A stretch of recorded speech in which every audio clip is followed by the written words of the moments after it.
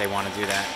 Uh, Matteo battling. Giuseppe with the getting the puck. Matthew here. We're in the last minute of the game.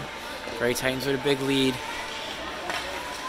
Matthew throws it to the front. Matteo, he scores. Matteo.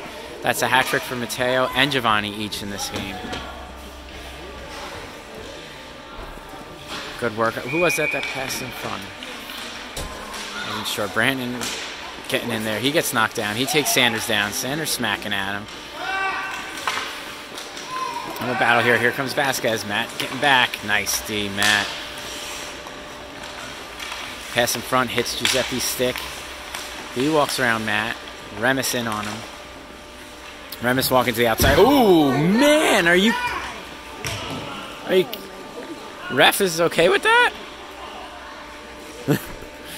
Matteo. No.